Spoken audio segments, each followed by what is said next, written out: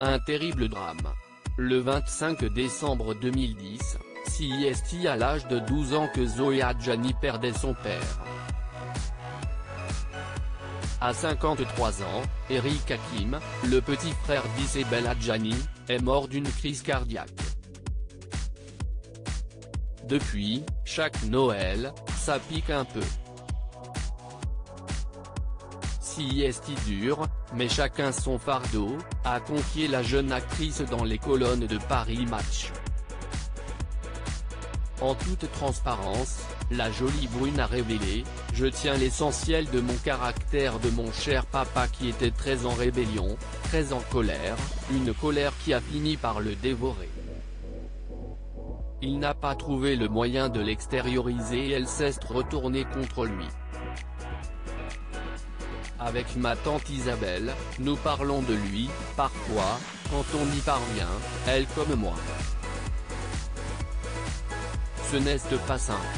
Beaucoup d'histoires bouleversées. J'ai perdu mon père, elle a perdu son petit frère. Vous imaginez le mal que ça peut faire. Alors que son nom est célèbre et qu'il lui avait été conseillé de prendre un pseudo, Zoé Adjani souhaite garder ce dernier afin de faire honneur à son père. Avec le nom que je porte, je n'aille cessé, depuis mon enfance, d'être remise en question et, forcément, de m'en poser. Je suis fier de mon travail et j'aimerais recevoir des louanges, même si ça commence, pour d'autres raisons que ce nom.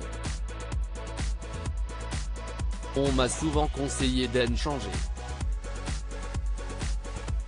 Vous vous rendez compte? Rayez le nom de mon père alors que je fais tout ça pour lui, a-t-elle confié.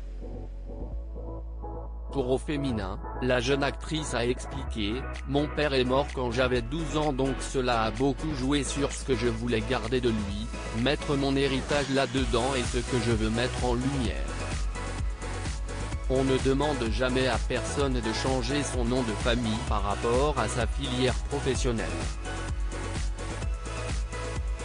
Sauf aux acteurs.ice.s, parce que y a un métier particulier, il y a une mise en lumière.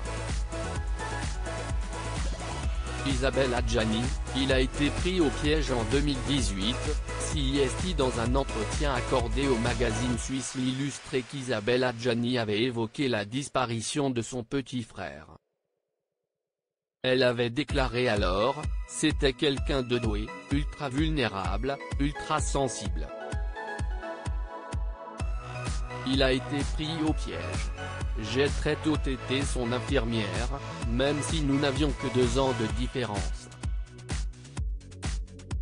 Si est un échec terrible de ne pas réussir à aider quelqu'un qu'on aime à s'en sortir.